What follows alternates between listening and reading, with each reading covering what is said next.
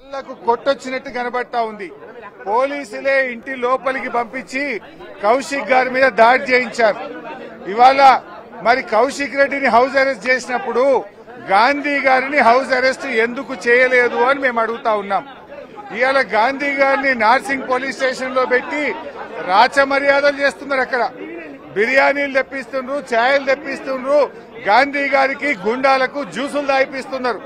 Party మారిన ఎమ్మెల్యేలందరినీ ఆడ జమ చేసి నార్సింగ్ పోలీస్ స్టేషన్లో రాచ మర్యాదలు చేస్తున్నారు. ఇవాళ మేము కౌశిక్ రెడ్డి గారికి న్యాయం చేయాలని ఈ రాష్ట్రంలో లా అండ్ ఆర్డర్ను కాపాడాలని మేము కోరుతా ఉన్నాం. ఇవాళ మా ప్రయత్నం వల్ల హైదరాబాద్ ఇమేజ్ దెబ్బతినద్దు. తెలంగాణ పోలీసుల గౌరవం తగ్గద్దనేదే మా బాధ. ఎందుకంటే ఒకప్పుడు తెలంగాణ పోలీసులు దేశానికి మోడల్గా ఉన్నారు. దేశం మొత్తం తెలంగాణ పోలీసులను చూసి నేర్చుకునే విధంగా గతంలో తెలంగాణ పోలీసులు పనిచేశారు. కానీ రేవంత్ రెడ్డి ప్రభుత్వం పోలీసులను తమ పాని తను చేసుకోనివ్వడం లేదు. పోలీసులను వాళ్ళ అక్రమాలకు అరాచకాలకు అక్రమ కేసులకు వాడుకోవడం జరుగుతా ఉంది. మేము దీన్ని తీవ్రంగా ఖండిస్తా ఉన్నాం. ఇవాళ పరిస్థితి ఏంది? ఒకటో తారీఖు జీతం ఇస్తానన్నాడు రేవంత్ రెడ్డి. ఈ సైబరాబాద్లో పన్నెండు వందల హోంగార్డులు ఉన్నారు. ఇవాళ పన్నెండో తారీఖు. ఇప్పటిదాకా హోంగార్డులకు జీతాలు వల్లే పోలీసులకు టీఏ డిఏలు రిలీజ్ అయితలేవు. సరెండర్ లీవ్ డబ్బులు వస్తలేవు.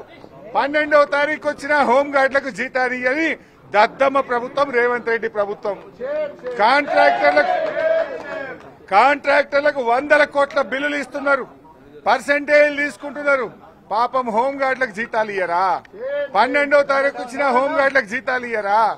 కానిస్టేబుళ్ళకు ఇప్పటిదాకా సరెండర్ లీవ్ డబ్బులు ఇయ్యరా? ఇదా నీ రాజ్యం. ఇవాళ మేం కోరేది ఒక్కటే గాంధీ గారి మీద అదేవిధంగా గాంధీతో పాటు రేవంత్ మా కౌశిక్ రెడ్డి గారి ఇంటి మీద దాడి చేసిన గుండాలను త్రీ నాట్ సెవెన్ హత్యాయత్నం కేసు నమోదు చేసి అరెస్టు చేయాలని మేము డిమాండ్ చేస్తా ఉన్నాం. లేదంటే సిబిఐ విచారణ కోరుతాం దీని మీద. అవసరమైతే కోర్టుకు పోతాం. కేంద్ర హోంశాఖ దగ్గరికి వెళ్తాం. కానీ దీన్ని మాత్రం మేము వదిలిపెట్టాం. నిజా నిజాలు బయటకు రావాలి.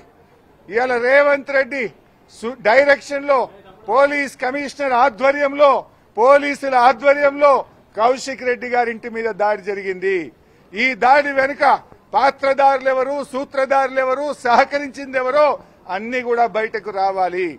ఒకవేళ మేము డీజీపీ గారిని డిమాండ్ చేస్తున్నాం నిజంగా లా అండ్ ఆర్డర్ను కాపాడాలంటే మీరు ఆల్ ఇండియా సర్వీస్ అధికారులు అయితే సిపి సైబరాబాద్ డీజీపీ గారు తక్షణమే ఉన్నత స్థాయి విచారణకు ఆదేశించండి.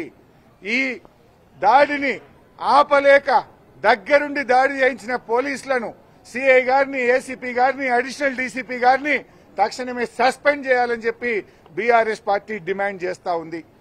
మేము ఇప్పుడే కంప్లైంట్ కూడా ఇచ్చాం. త్రీ నాట్ సెవెన్ నమోదు చేయండి. ఎందుకంటే ఇట్ ఈస్ ఓపెన్ సీక్రెట్ పొద్దున్నుంచి మీడియాలో వచ్చింది. వీడియోలో వచ్చింది. పాడే కడతామన్నారు చంపుతామన్నారు. రాళ్ళతో కత్తులతో కటారాలతో అదేవిధంగా కట్టెలతో రే- మా కౌశిక్ రెడ్డి గారి ఇంటిపైన దాడి జరిగింది. అంటే దీన్ని బట్టి చాలా స్పష్టంగా ఉంది. రాష్ట్ర ప్రజలందరూ గమనిస్తున్నారు.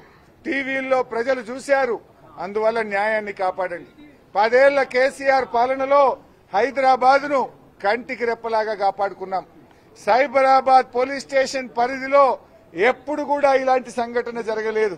సైబరాబాద్ పోలీసులంటే ఒక మంచి ఇమేజ్ ఉండే కానీ దాన్ని మంట కలిపిండ్రు.